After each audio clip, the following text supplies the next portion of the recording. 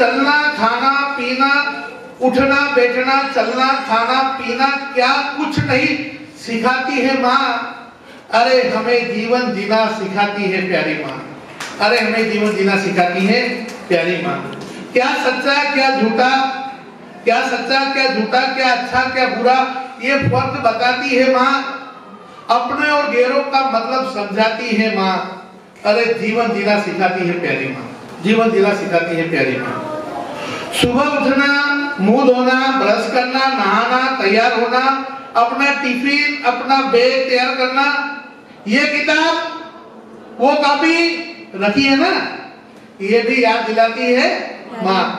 ये भी याद दिलाती है माँ जीवन जीना सिखाती है प्यारी माँ। जीवन जीना सिखाती है प्यारी माँ। आज स्कूल से घर देर से क्यों आया? आज स्कूल से घर देर से क्यों आया? मैडम ने तुम्हें क्या पढ़ाया? अरे तूने खाना खाया कि नहीं खाया? फ़िक्र और प्यार में संतुलन बनाती है माँ। फ़िक्र और प्यार में संतुलन बनाती है माँ। जीवन जीना सिखाती है प्यारी माँ। आप सभी को गेम में पार्टिसिपेट करना है। अ, बच्चे तो डेली स्कूल में प्ले करते ही हैं। आज मम्मियों का टर्न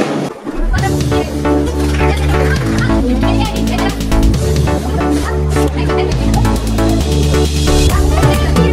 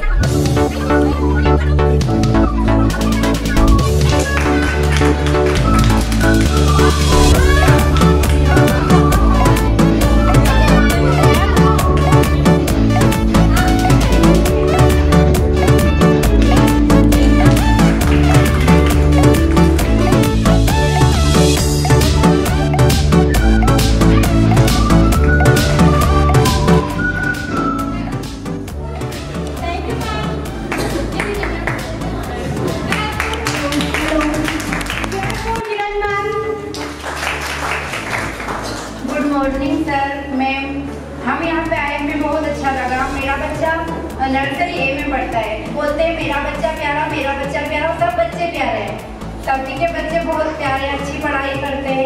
इस स्कूल से उन्हें बहुत अच्छी सीख मिलती है। यहाँ तक कि बोलने का तरीका, रहने का तरीका, अनुशासन। मेरा बच्चा बहुत छोटा है, पर वो बोलता है, नहीं, मैम ने बोला, ऐसे करूँगा ऐसे करूँगा, ये खाऊँगा। आलू खाता था सिर्फ़ लेकिन अभी सभी हरी सब्ज़ियाँ खाने लग गए बोलता है, मैम ने बोला है, हरी सब्ज़ी में हर चीज़ में मतलब मैडमों की तारीफ़ करती है कि नहीं, मैम ने ऐसा बोला है, ये खाना है ये बनाना है, मम्मा, ये करना है। मतलब हर चीज़ में स्कूल की ही बात भी बहुत उसकी हो रहती है। और टाइम टू टाइम है होमवर्क पूरा करना। पाँच बजे से तो सात बजे तक दो घंटे का वर्क है तो दो घंटे वो टाइम पे आई जाती है कमरे में कि, मम्मी, अब होमवर्क करवा दो।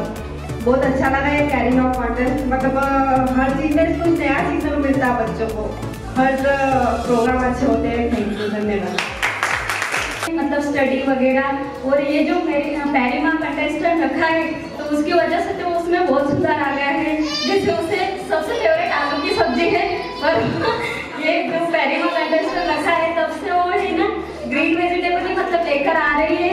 और मतलब रात से उसका सुबह का टिफ़िन का मुझे पूछती है, मम्मा, सुबह सुबह क्या सब्ज़ी देने वाले ग्रीन वेजिटेबल ही है ना? मतलब कुछ फ्लावर हो, कुछ हो मतलब वो पहले कंफर्म कर लेती कि ये ग्रीन ही है ना। नहीं तो सर डांटेंगे, हमें ग्रीन वेजिटेबल ही लेकर जा रही है। मतलब ये बहुत अच्छे से है, क्योंकि वो प्रोटीन वगैरह विटामिन की अभी से मतलब बच्चों में ये बात उनकी समझ में आ रही है और टीचर भी वो मतलब करवा रहे हैं उनसे तो बहुत अच्छा लग रहा है। ऐसे नई पहल आप लेकर आए, उसमें वजह से आपको धन्यवाद करना चाहती हूँ और बच्चों की वजह से आज हमें भी ये स्कूल में आने का मौका मिला और पहले ये कंटेस्ट करने पार्टिसिपेट करने का मौका मिला, इसलिए धन्यवाद। Thank you sir good morning sir and ma'am प्यारे में पॉइंट की एक ही बात अच्छी हुई है कि बच्चे वेजिटेबल खाना बिल्कुल पसंद नहीं करते थे, लेकिन इसके बाद छोटे छोटे बच्चे सारी वेजिटेबल्स खाने लगे। और जिसमें मेरी गुड़िया एल के जी ए में है, वो तो बिल्कुल भी सब्ज़ी खाना पसंद नहीं करती थी, लेकिन सर और मैम की वजह से वो वेजिटेबल्स खाने लगी है। आप सभी का बहुत बहुत धन्यवाद सर मैम। थैंक यू मेरी बच्ची में तो उसने कुछ सिखाना ही नहीं पड़ा, उसमें तो खुद में इतना परिवर्तन है कि वो दिन भर बस स्कूल की बात करती है कि मेरी मैम ने ये कहा, मैं यही करूँगी। बिल्कुल भी कुछ भी अलाउड नहीं है। जैसा स्कूल से बोलते हैं, वो वैसा ही करती है। गुड मॉर्निंग मैं, मेरी बच्ची में बहुत सुधार आया है और पहले से वो बहुत अच्छे हैं, सबकी बातें सुनते रहते हैं लेकिन स्कूल आने के बाद में बहुत कुछ सुधार हुआ इसमें और हमने पिछले साल स्कूल छोड़ा, लेकिन काफ़ी कुछ कवर किया उसमें और वैसे अभी एक महीने से तो वो बोलती है, मम्मा, ये बनाना टिफ़िन में वो बनाना। और हर ग्रीन सब्ज़ी को लेके आते हैं और टिफ़िन फिनिश करके जाती है। थैंक यू बच्चा एक कोरे कागज़ की तरह होता है। बिल्कुल प्लेन जैसे माँ की गोद में आता, वो हर एक स्टाइल माँ की, पापा की, हर एक स्टाइल सीखता है। यदि आप छोटे बच्चे को ध्यान रखना, अगर बोलना सिखाओ, मम्मी सीख रहा है बच्चा अभी चार चार, पाँच महीने बाद ये क्या करेगा मालूम? मम्मी जो बोलेगी, उसकी नकल करना चालू करेगा। मम्मी बोलेगी "अ, अ, संजू इधर आ तो बोलेगा संजू इधर आ रिपीट करेगा मतलब वो क्यों रिपीट रिपीट कर रहा है वो सीखना चाह रहा तो धीरे धीरे क्या होगा कि आप मान लो पति पत्नी घर में झगड़ रहे हो तो इस बच्चे के दिमाग में वो झगड़ा जाएगा। उसी स्टाइल में उसी स्टाइल में पापा के स्टाइल में आप बड़ा होके उसी स्टाइल में लड़ेगा भी। मम्मी के स्टाइल में इसी दूसरे बच्चे से बिहेव करेगा। आप घर में जैसा जैसा बच्चों के सामने करते हो। जो जो आपकी बैड हैबिट्स है तो बच्चों के सामने करोगे तो बच्चों के अंदर तो जाएगी। तो हो मैं कहता हूँ कि लड़ाई भी होती है थोड़ी बहुत तो बच्चों के सामने ना हो।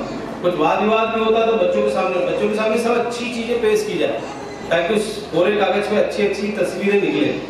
नहीं तो वो टेढ़ी मेढ़ी हो जाएगी तो गड़बड़ हो जाएगा। हम इस चीज़ का ध्यान नहीं रखते, पता?